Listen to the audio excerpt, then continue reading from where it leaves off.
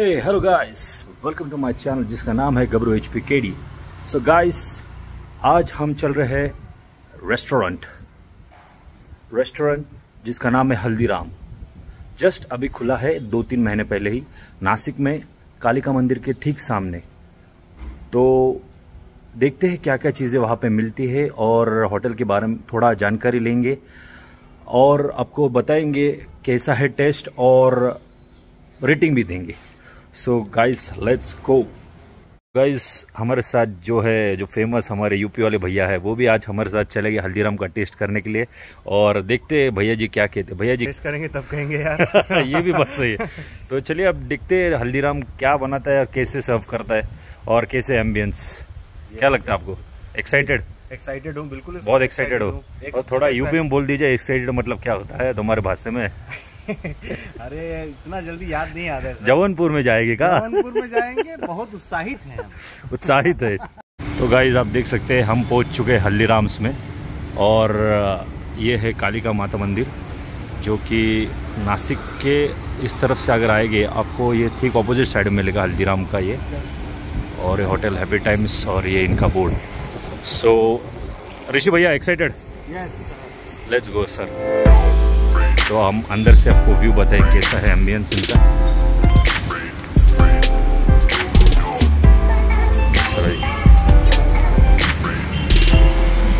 सो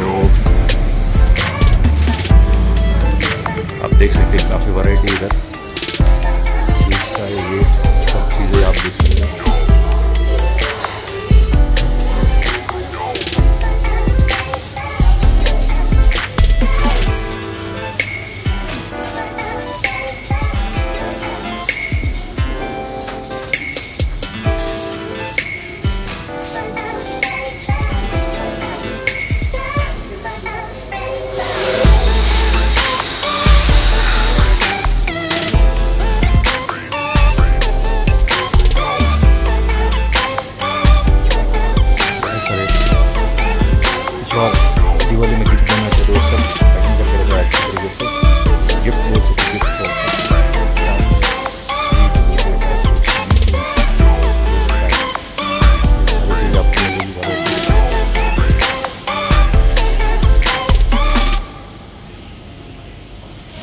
counter भी यहाँ पे।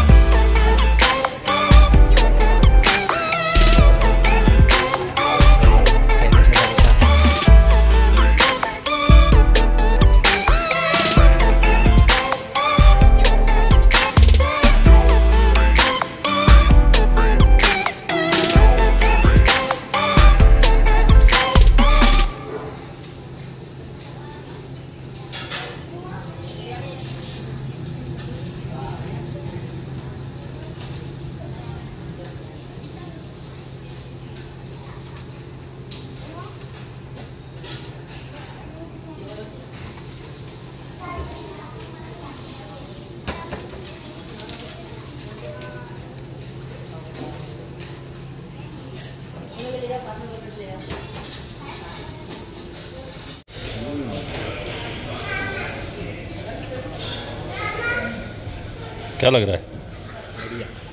है? चीज़ में दम है? सही में? चलिए, अब हम भी टेस्ट करते। अभी इंतज़ार होगा जो मेन अपना है मेन अट्रैक्शन है वो है छोले भटूरे। देखते वो भी टेस्ट करके।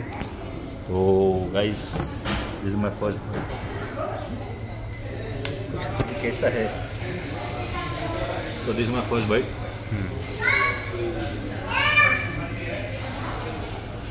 काफ़ी टेम्पटिंग लग रहा है। देख के देखो, इसके ऊपर पुदीना का चटनी है और इमली का सॉड है और दही बल्ले अभी टेस्ट दही दही वड़े में यही सब रहता है ना सर में ये चीज़ जो किसी चीज़ में दिखाई नहीं जाती। यस यस कोई भी होटल में देते नहीं। तो अभी हम लोग ये टेस्ट करके देखिए कैसा है। माय फ़र्स्ट बाइट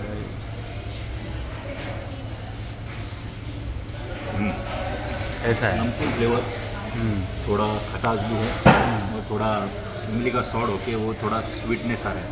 मतलब इट्स लाइक टेम्पटिंग मुँह में जाते घुल रहा है अब तक ये तो ठीक है अट्रैक्शन बहुत अच्छा रहा। पर इंतज़ार है छोले भटूरे कैसा है तो हमारा क्या कहते हैं इसे? भटूरा। भटूरा काफ़ी बढ़िया है साइज़ में। और ये चाँद की तरह गोल गोल है। सही है? ज़रा अभी ज़रा लोगों को दिखाना, अपने कस्टमर मतलब अपने जो व्यूवर्स हैं, उनको दिखाना चाहिए। देखो, एक प्याज दिया है, दो प्याज है, फिर बाद में मिर्चा का अचार है, एक लेमन का पीस है और फिर इसमें आएगी छोले की जो लटपटी ग्रेवी है। काफ़ी ज़बरदस्त लग रही मुझे। तो देखिए, काफ़ी थिक है ग्रेवी छोलों का। और भटूरे आप देख सकते हो भाई साहब। ऐसा ये करने के बाद भी ऐसा रोमटे खड़े हो रहे हैं। क्या लग रहा है, एक दो जनों के सफिशिएंट है? एक थाली में दो जन खा सकते क्यों?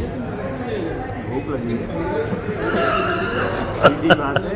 मैं नहीं, भूखे आदमी को हो सकता बट लाइकवाइज मैं बात बात कर रहा हूँ ये चीज़ का। मतलब अगर एक आदमी ने दो जन आए मतलब कपल हो या कोई हो दोस्त हो तो एक दो भटोरे में और एक सब्ज़ी के साथ सब्ज़ी के साथ मतलब सब्ज़ी आपको क्वांटिटी ठीक लग रहा है कि ठीक ठाक है? दो सब्ज़ी इसके लिए। दो जनों के हिसाब से लग रहा है लेकिन थोड़ा सा बढ़ाना चाहिए। अच्छा। हम्म। की साइज़ ठीक है दिखने में क्वालिटी अच्छी दिख रही है ये टेस्ट करने के बाद में पता चलेगा अब टेस्ट करिए। जनाब टेस्ट करिए।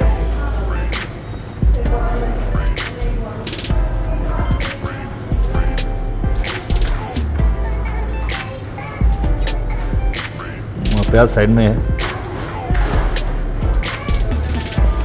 टाइम लीजिए टाइम लीजिए। हमारे व्यूवर्स को टाइम देखिए बताना आपको कैसी लगी टेस्ट।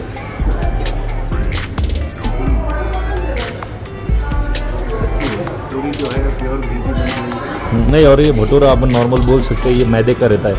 ये मुझे सूजी का लग रहा है। ये सूजी से बना हुआ लग रहा है। क्योंकि आप देख सकते हैं, ये जो भटूरा है, इसके अंदर ऑयल थोड़ा है है मतलब घी है। ये घी से बना है मतलब ये ऑयल ऑयल फ्री है, ये घी से बना है। ओके ये थोड़ा, ये आलू का सब्ज़ी भी टेस्ट करके देखिए, जो आपने को दिया है, और, मिर्चा का अचार भी दिया है।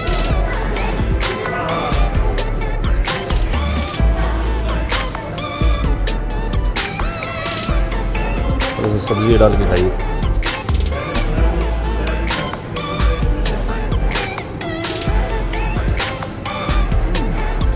हाँ मतलब वो जो कॉम्बिनेशन जो बोलते हैं मतलब छोले भटूरे से जो आलू का सब्ज़ी और ये दोनों पीस के बाद जो मिक्सअप होता है मिक्सचर बहुत अच्छा लगता है दिल्ली स्टाइल वो थोड़ा। ही? है ही वर्थ इट ठीक है। तो अभी ऋषि जी देख रहे बहुत भूखे हो चुके हैं। अभी टूट पड़े हुए आक्रमण करेंगे ऋषि जी। और आपको सर हमको रेटिंग बता देना खाना होने के बाद। ठीक है सर आपकी रेटिंग की बात करके और मेरी रेटिंग की भी मैं बात करूँगा इसके बारे में। ठीक है सर? तो enjoy your food yes so enjoy your food मिलता हूँ फ़ूड के बाद। खाने होने के बाद। ठीक है? बैक ऋषि जी आपका रिव्यू बताइए ज़रा छोले भटूरे के बारे में और आपने जो ये ठंडा पंडा पिया इसके बारे में बताइए कैसा लगा? अच्छा अमूल से बढ़िया मतलब आप सीधे सीधे मुँह पे बोल देते हो। मतलब जो है, सो है सीधा बोल देने का। ठीक है, मेरी कहे तो मुझे छोला भटूरे ठीक ठाक लगे। एवरेज है। और फिर मैंने पिया वो ठंडा फंडा, मुझे बहुत बढ़िया लगा। मतलब मतलब खाने के बाद जो क्रेविंग आता है मतलब अपने को ये- होता है एसिडिटी हो है ये चीज़ों की तो उससे वो राहत दिलाता है थोड़ा। क्या कहते हैं बिहार, यूपी में, वो ठंडाई के लिए? एसिडिटी होने के बाद।